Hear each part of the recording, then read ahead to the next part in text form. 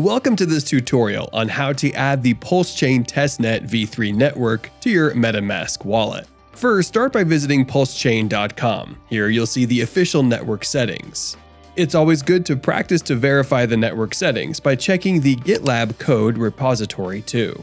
Here is what it will look like on the page. Once you have verified the network settings, open your MetaMask wallet and click on the circle dropdown located at the top right of the wallet. Next, scroll down and click on Custom RPC to manually add a new network. In the network name field, enter PulseChain Testnet v3. In the new RPC URL field, enter the RPC endpoint for PulseChain v3, which is https colon forward slash forward slash rpc.v3.testnet.pulsechain.com. In the chain ID field, enter 942. In the symbol field, enter TPLS.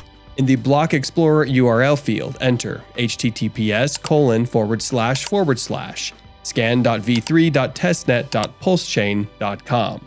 Finally, click on Save to add the network to your MetaMask wallet.